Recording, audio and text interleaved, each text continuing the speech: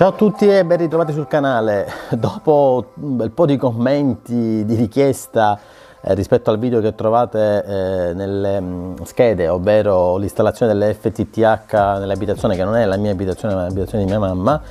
eh, oggi, avendo avuto l'opportunità di essere nuovamente qui a casa di mia mamma,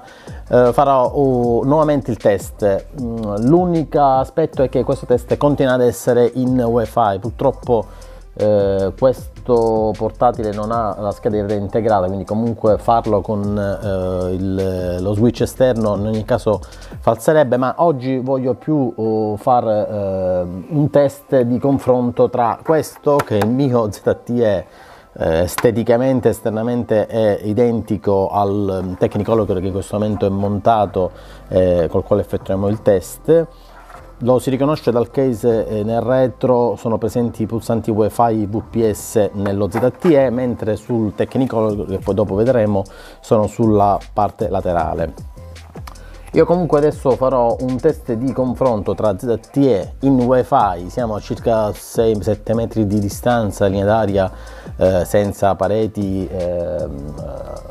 di, eh, interposte tra eh, la postazione del PC e il eh, router, faremo un test di confronto oh, su quella che è la velocità. Palesemente i dati, non so se riuscite a visualizzare, ma poi adesso poi farò la registrazione del, dello schermo, eh, i dati di eh, accesso sono, eh, di velocità sono palesemente superiori rispetto a quello che era stato il primo test. Ehm, la connettività sarà sempre in wifi, io ho disconnesso anche eh, il, eh, lo smartphone, quindi non ci sono altri dispositivi connessi wifi, quindi l'unico eh, device connesso alla rete wifi del router Technicolor che in questo momento è collegato è il PC. Allora, facciamo partire il test, io sto provando a chiudere tutto in modo tale che eh, non ci siano altri elementi o pagine che possano eh, chiedere connettività al PC e cosa fondamentale, il test non viene fatto dal browser eh, come in, anche in tanti commenti ricevuti, ma direttamente dall'app Speed Test Ocla che ho scaricato. Questo consente di avere un, un test più eh, efficace e efficiente rispetto a quello che è il valore raggiunto. Partiamo con lo speed test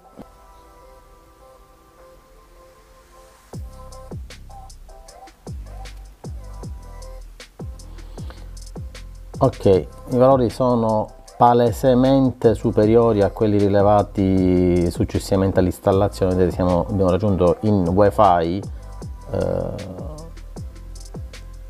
oltre 600 in download poco più di 100 in upload con un ping di 3 millisecondi Ok, ora eh, ripeteremo oh, lo stesso test installando oh, il, lo ZTE, quindi a parità di condizioni, quindi sempre in connettività, connettività wifi, con la medesima distanza rispetto al, alla postazione del PC e vedremo se eh, le caratteristiche dello ZTE rispetto al tecnico sono migliori o peggiori. Ok, eccoci, ho Scollegato il eh, Technicolor che come dicevo lo identificate, vabbè, a parte ovviamente l'indicazione, ma eh, è riconoscibile dal fatto che ha i due tasti eh, VPS e WiFi sulla, eh, sul laterale sinistro. ho collegato il mio ZTE, adesso testiamo la uh, connessione sempre con le medesime condizioni, quindi ovvero sempre connettività wifi, siamo sulla medesima distanza, siamo sempre sul 2.4, questo non l'avevo precisato eh, prima, e col medesimo canale radio. Vediamo se a parità di condizioni in wifi quale dei due router riesce a sfruttare meglio la banda. Ovviamente questa è una FTTH eh, 1000.